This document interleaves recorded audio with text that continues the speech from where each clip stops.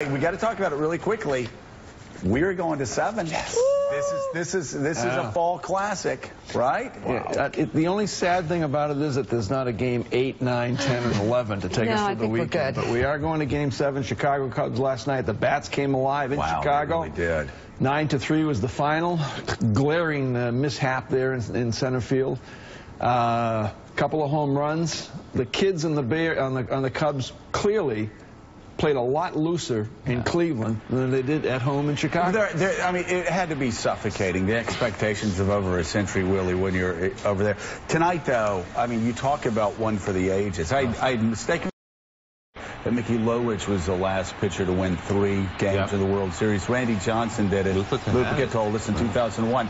But Starters. Lolich was the last starting Starter. pitcher Right, right. to win three. To go, I mean, to start it out and go. We've got a chance to see that again tonight. It's going to be the the best best bats against the best pitcher.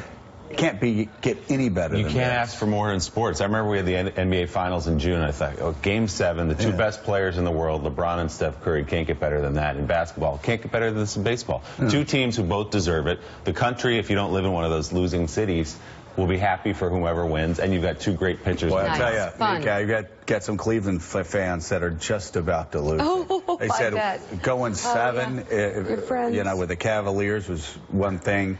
Going seven again with the Indians. It's so painful. It is painful. They got their guy pitching though. They got Oh, they got the man Okay. you want on the on mound three days rest. Yep. for the second time Yeah. in this series. Yeah. It's unbelievable.